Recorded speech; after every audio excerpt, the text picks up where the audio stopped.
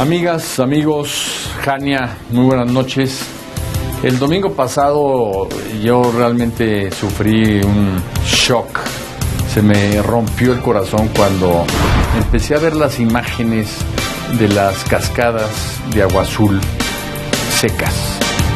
Porque desde niño, si hay algún lugar que a mí siempre me impresionó, fue Chiapas y dentro de Chiapas, obviamente, las cascadas de agua azul y que ese ícono de la naturaleza mexicana, que ese ícono de la selva chiapaneca se seque, pues realmente es una noticia espeluznante.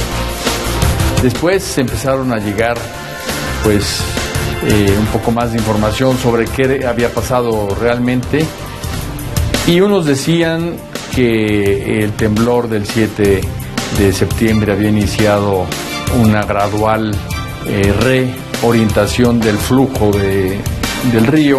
Otros decían que se había caído un árbol muy grande, había tapado parte del cauce y lo había desviado.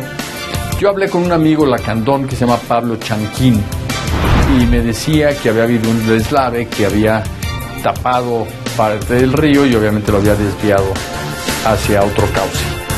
El problema es que miles de personas viven del turismo en esa zona y otro tanto vive también con el agua del río.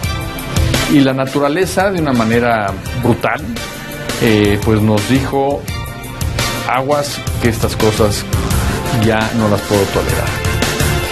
Deforestación, presión demográfica, uso exagerado y explotación de los recursos, todo ello son las causas que finalmente llevan a problemas como el que se está viviendo ahí.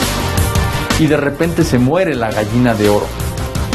México realmente, su naturaleza, cuarto lugar en biodiversidad, país megadiverso, tiene una gallina de oro y no podemos permitir que se muera. Agua Azul debe ser una reflexión profunda para todos.